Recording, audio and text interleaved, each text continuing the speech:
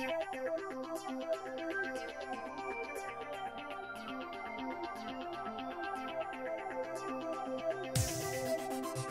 everyone, it's Mike here. Thanks for joining us for another Make It video. Today we're going to be looking at our Craft Nouveau CD collection, which is a beautiful collection if you're into your feminine florals and you're loving those beautiful kind of ergonomic design and feels of the, the early 19th century. So this is the period before Art Deco came in. So absolutely beautiful. And this is one of the collections from the CD. Now all I've done is teamed this up with a little bit of mirror board and I've done it on craft card to turn this beautiful pyramid topper into a winter ivy birthday card. Now I don't know whether you can see the glitter on the ivy because it may still be a little bit wet but that's what happens when you make cards it doesn't dry immediately so I'm now going to pop off and I'll show you how I created this card. So to make today's card I have my Craft Nouveau CD and from that CD I have printed out the two sheets that I want to use. This is one kit or one um, one pair if you like. So this is the Winter Ivy um, Craft Nouveau topper. It's a pyramid topper as you know. There's the backing paper and some of the other elements that you can use along with the card. So those are my printed sheets from the CD. Uh, I'm also going to be using a sheet of silver mirror card. Just box standard silver mirror because this obviously is a winter ivy card. A sheet of craft cardstock. So just standard craft cardstock and also from the CD I've printed out a couple of the inserts onto some vellum you can see through that um, this is the one that I'm favouring but I did that one as well just in case can't really decide what to do for this one and the only other things I'm going to use in the production of this card is some stickles now this is the diamond stickles. You don't have to use the diamond. You can use the ice, you can use the stardust, you can use any of the clear or white, any of that you would use for snowflakes, that kind of um, effect. So I've just got, this is the diamond one. And I have a embossing folder. Now I've put some black card into this embossing folder so you can see the pattern better. Now this is an Anna Griffin one uh, it's a 5 by 7 because I need that size. So it's 5 by 7 so it is a fairly large one. Um, and it's a floral pattern which fits in with the theme or the Art Nouveau theme that we've got for this card. So I'll be using that with the mirror board as well. And I just have craft knife, pokey tool, my bone folder and a spare craft knife just in case one of the blades is blunt. Okay, so I'm going to go off and cut out all the pieces that I need from these two sheets and I will see you in two minutes. Okay, so I've gone ahead and cut everything out. I've also trimmed down a piece of the silver mirror board down to, uh, now this is the embossing fold and this is a 5 by 7 so I've cut the piece of mirror board down to um, six and a half by four and a half. So that's going to give me, for my main top, my main topper, that's going to give me a nice border all the way around that when it goes into the embossing folder. And when it's placed in the embossing folder, it's going to have a nice all over pattern on that uh, on that mirror board. So when we come to put it through, we'll just need to line that up and put that through our um, our die cutting machine or our big shots. Now I'm also going to use this as our base layer. Now this is the piece of craft cardstock and all I'm going to do for that is I'm just going to fold that in half because it's already um, A4 I literally just need to fold it in half to make our A5 card blank. Now the backing paper on the sheet it had a white border around it. Now you can cut that out with the white border and it will completely cover your card front. I wanted some of that little brown showing through around the edges so I've trimmed that white border off so that when that gets stuck down we have our nice earth tone around the outside of the card and then we will have that silver on there. Now I've also got another piece of mirror card to put as a um, backing layer on this so I will need to trim some of this off a little bit later so we'll have the brown, the silver, then the main and then we'll have our silver topper on there with that, so our silver layer and then that on the top. So everything's all just about ready to go. So I'll pop everything to one side and as we say we have that, so we have our card blank already done. So all we have to do now is to prepare our topper, uh, our card front I should say. So this is the other sheet of mirror board and I'll just put all our layers for our pyramid topper inside there. I've got a top on the brain today, haven't I? Okay, so grab the trimmer. Now, we know what size uh, an A5 card is. It's 148.5 millimeters by 210. So we need to just trim that down a little bit. So 1.48, so if we do that at 144, like so, we know we've got the right width. And then if we turn that round, 210, if we take 4 millimeters off 210, that's going to leave us with 206 millimeters. So that's going to give us a couple of millimeters border all the way around the front of our card. So if I lay that now on the top, that should be, yeah, there's a nice little border all the way around. Now, we need to trim this down so that it matches. So instead of it being 144, let's make it smaller, it needs to be 140. Now look at that. That's just about right to give us that little bit of a border or there already.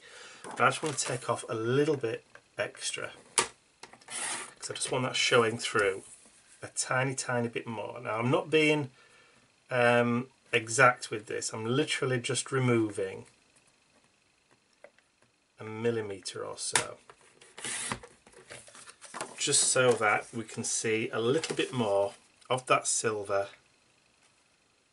on the card. So we then have three layers which will look absolutely beautiful and nicely finished when we're done. Okay, so just pop that trimmer to one side for now.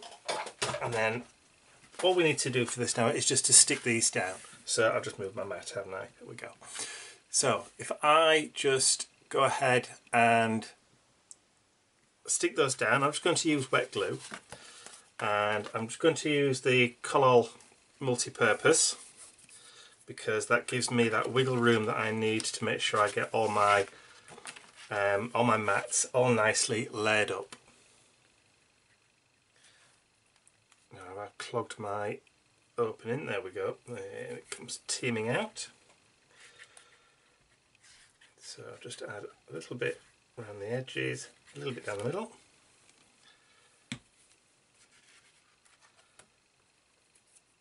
And then we're just going to layer that down. Try not to get the Collall onto your mirror board because it does have a particular or peculiar effect on it. Sometimes it takes the shine off, which is definitely not what you want.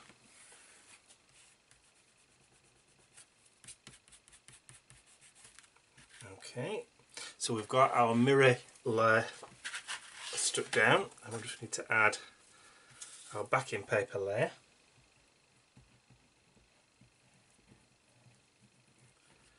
You only get one shot at this really.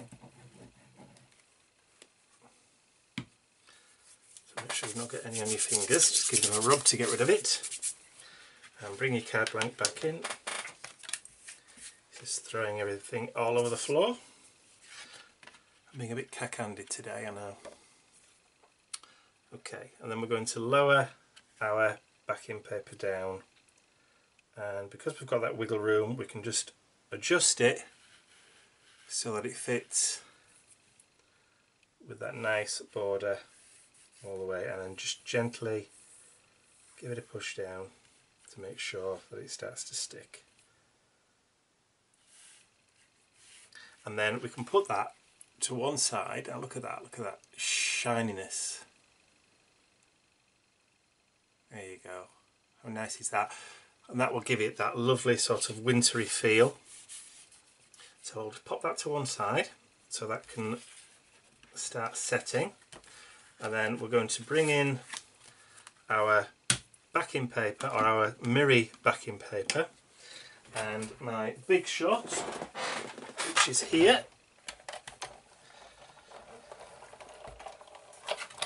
Which is very very well used. This is as practically as old as I am. It's the only big shot I've ever owned. So it's nearly 10 years old and it's still going nice and strong. So brilliant stuff. And just run that through on tab 1 now because my mat is on there it's a bit slippery that should do us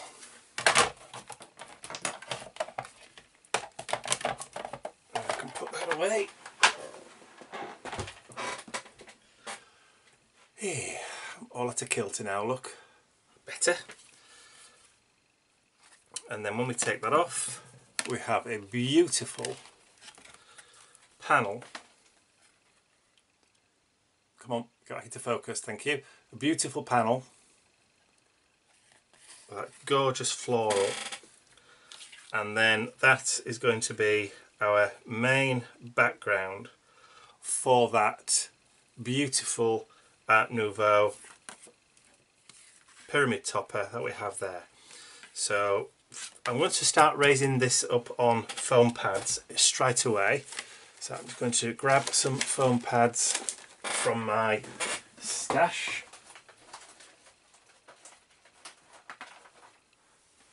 Here we go. And I'm using square ones or large square ones this time. I'm going to put one in the middle I always put one in the middle when I'm doing a pyramid because that creates your center column of rigidity when you're placing your toppers on because they get smaller as you go along or as you build them up then it alters all the way around but the center one always stays the same or should always stay the same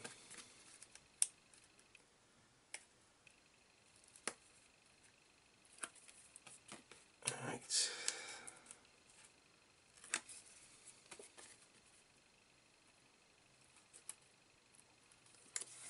I want to play today, these ones. Okay, so my main topper, make sure I get that in the middle.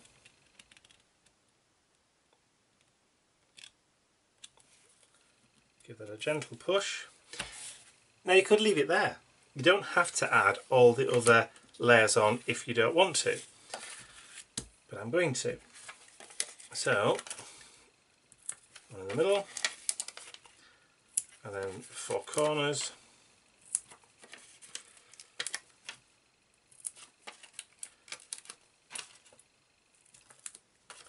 okay. And this will give us the depth and dimension. Now, of course you could add other silver die cuts. You could add florals. You could add twigs. You could add anything that you want to to make this card um, look as wintry as you want it to. Now, bearing in mind it is a winter birthday card, it's not a Christmas card, it's a winter birthday card. So I'm just going to see if I can line that up with the outside. Make sure, and then just gently drop that down, push in the centre. Now hopefully when you're looking directly above like you are doing if you've got the pyramid right, you shouldn't be able to see the join, really. So hopefully, because the only way for me to make sure I've got the join correct is if I lean right over and you can see the back of my head. I'm trying to avoid doing that, so because that doesn't make for good viewing, does it? No, it doesn't. So, like that.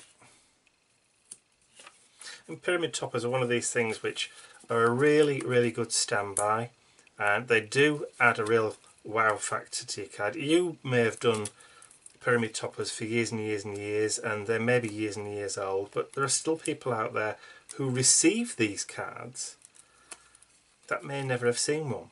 Uh, and so it's still very very brand new to them. And also as more and more people get into the card making all these you know techniques that we take for granted all these toppers that we take for granted are all brand new to them so it's great to be able to carry on uh, and carry on showing people what can be done. Now for this one I'm just going to put three on. So I'm just going to put one at the top one in the middle and one at the bottom because I don't think it needs any more than that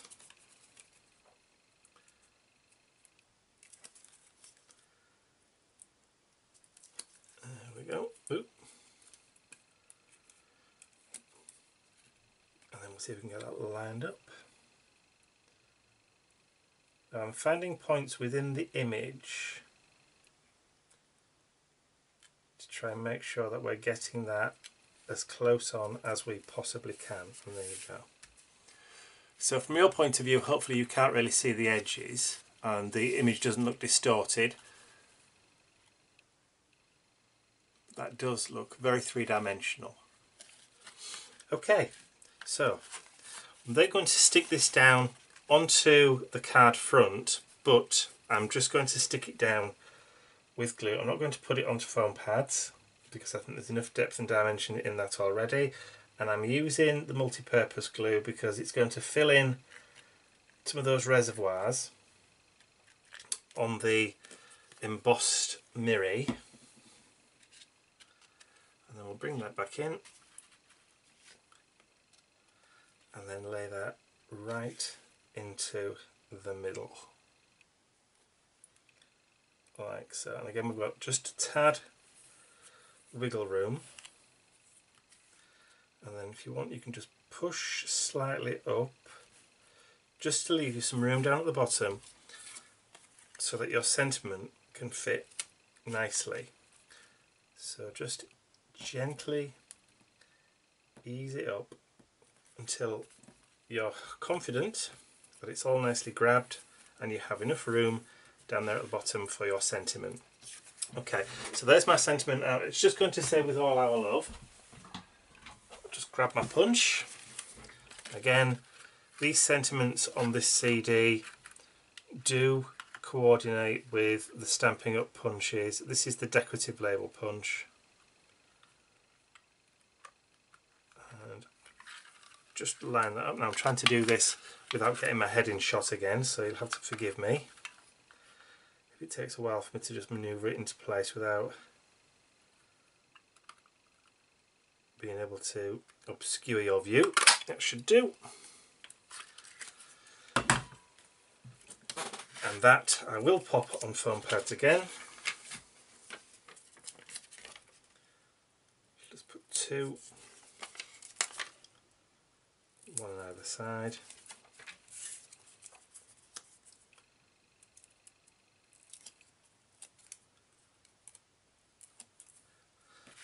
like that and then you can place that in the middle lining up your points with the bottom of the mirror like so and then using our diamond stickles. Just clear that bit of space out of the way. I'm just going to add a little bit of that glitter around the edges of the ivy just to give it a little hint of winter frost.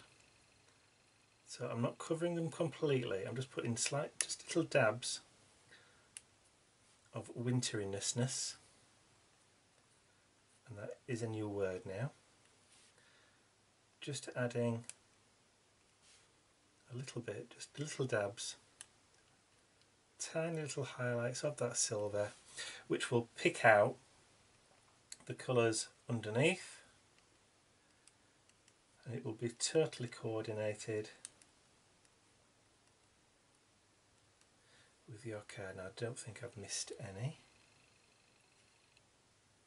Maybe a couple of tabs there.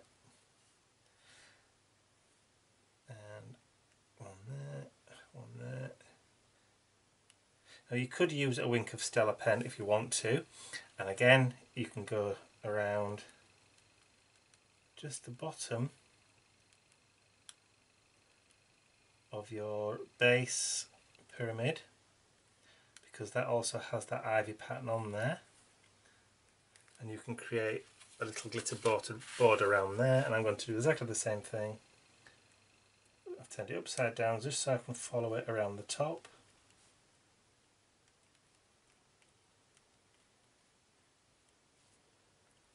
Just to add to that overall effect. I don't know whether you can see that with it not being dry yet.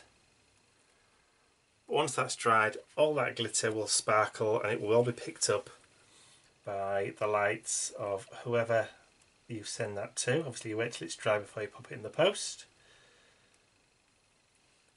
And then if you wanted to go ahead and further embellish it, you can add some pearls, you could have added a little piece of lace if you wanted to, um, whatever you want whatever you want. Now I did have, I always put them down, I, I always get some gems out just in case, just some plain bog standard clear or white if you like gems and by the time I get around to using them or wanting them they always disappear again.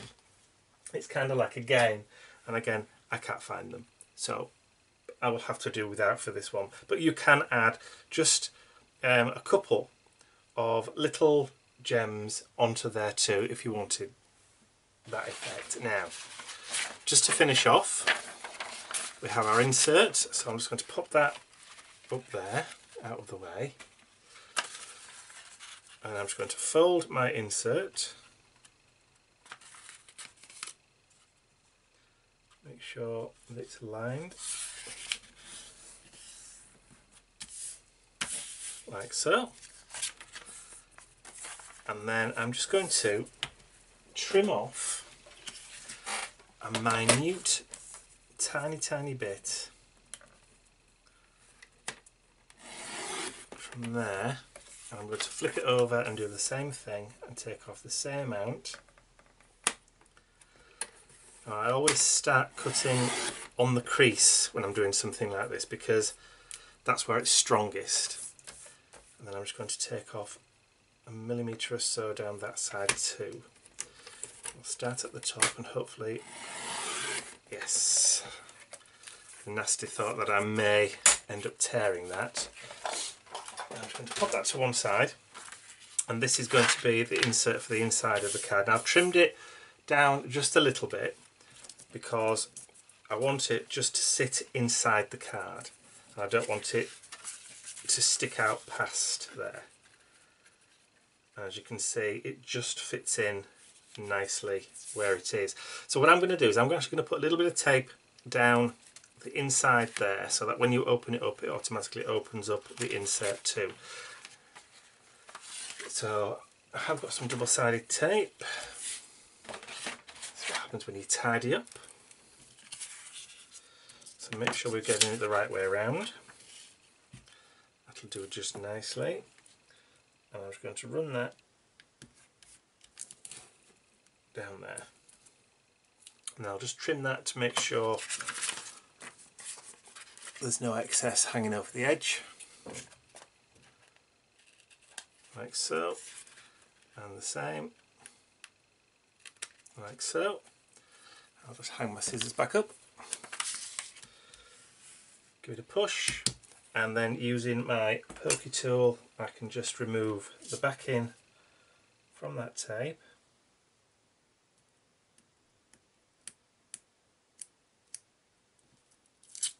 Ooh. Tried to take it off a bit too quick there We've all been there, haven't we? There we go. And then bring that card back in. Open up the front cover. Place it where we think it's going to go. And then literally just close it down. Give it a slight push. Let's try not to move the mat again. And now when we open, there we go. You could, if you wanted to, just add a little bit of glue or tape into that corner there if you wanted, so that does hold down when you uh, when you open it up. But you don't have to, and that's where you can either stamp your sentiment or write your sentiment. And that's it. So that's our Winter Ivy winter birthday card. Nice and frosty for this time of year. So that's our Winter Ivy birthday card from the Craft Nouveau CD collection. If you've enjoyed this video, please give it a thumbs up. It would greatly help us if you do that because every time you click that thumbs up button, it tells YouTube that you want to see more from us and also they recommend our channel to other people too. So it does help us a great deal if you click the thumbs up button. And if you haven't subscribed to our YouTube channel already, you can do so by clicking the button at the end of this video. That way you'll be kept informed of all future videos. Okay, that's it from me and I'll be back again next Saturday.